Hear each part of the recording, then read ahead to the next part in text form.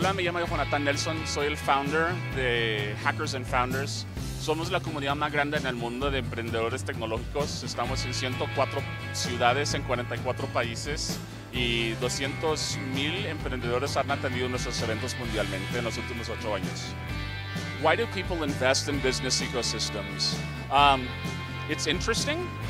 Um, I actually find it really interesting to try and solve social problems by actually saying, are there ways that I can help other people make money, do business, as well as try to change things where I'm at? Um, frankly, that's why I do it. That's why I invest my time. Um, I actually believe that starting companies can be a force for good. I think it also can be a force for evil, um, but it's how you choose to actually do it.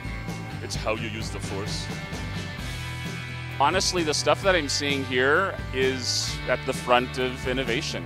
Um, I'm actually extremely excited about what's happening at Campus Party um, around the world. I actually think that there's an enormous capacity for entrepreneurship, for innovation from the people who are attending here. And frankly, I think that one of the next Steve Jobs or Bill Gates will probably come from the Campus Party community.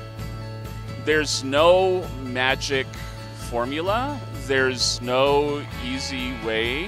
Um, you look at people like Steve Jobs who have a, a, marketing machine around them, and you say, wow, I could never be like that. But frankly, he was a nerd, um, hacking hardware stuff together, trying to figure out how to build a company for years and years and years before he hired his marketing teams.